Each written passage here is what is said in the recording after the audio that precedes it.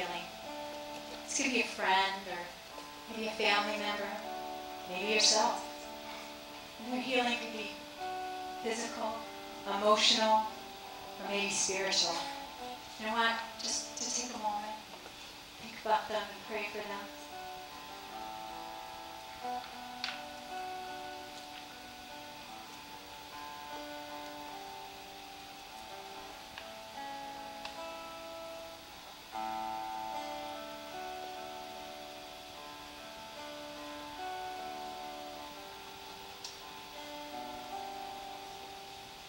To God that trust in Him.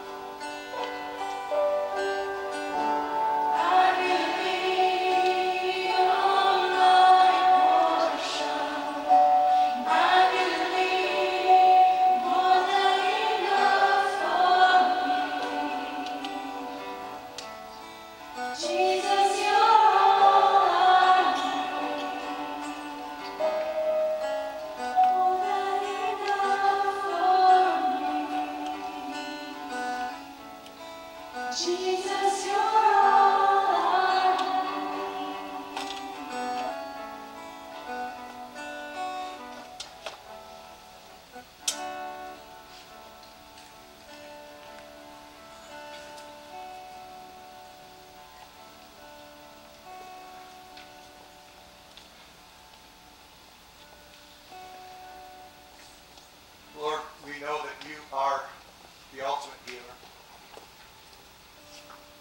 look out in this congregation this morning, I know some have experienced that healing, even just recently.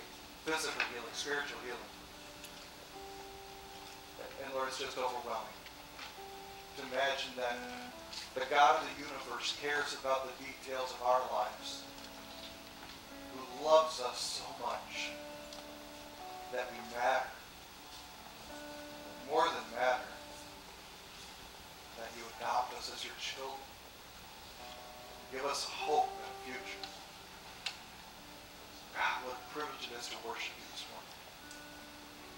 I pray that we continue our worship as we give back a portion of what you've given to us in our offerings this morning. Pray, Lord, that you would multiply it, that you would help us to use those resources for your kingdom, your honor and glory. Lord, may our work here just not stop in this church or in Sister Lakes, but continue throughout the world through those missionaries we support. And those that come and go from our church and, and spend time ministering for you. I think of Pastor Doug as he's in transition from Peru to Alaska today for vacation. Lord, I pray that you would continue to, to watch over him in Maryland as a vacation now. Thank you for the work he just did in Peru and for the blessings he has been for those people down there. Lord, each one of us has a mission field right in our backyards, with our own families. So God, I pray that you would burden us, help us to serve you well in those fields. Bless the rest of our service this morning, Lord. Bless this offering we're about to receive in Jesus' name.